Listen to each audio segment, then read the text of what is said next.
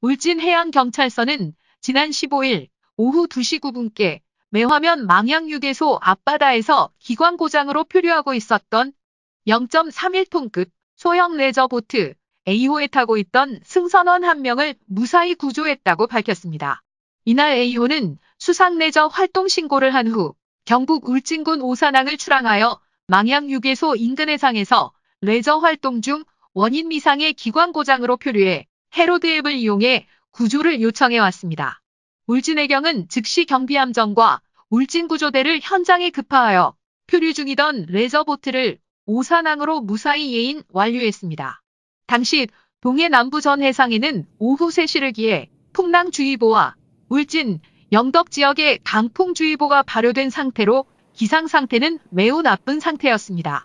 해로드 앱은 항법 장비를 갖추지 못한 소형 선박이나 레저보트 이용자 등을 위해 해양수산부가 2014년 개발한 스마트폰 앱으로 최신 해양 안전정보 제공과 긴급 상황 시 자신의 위치와 함께 해경에 구조 요청을 할 수 있도록 만들어진 프로그램입니다.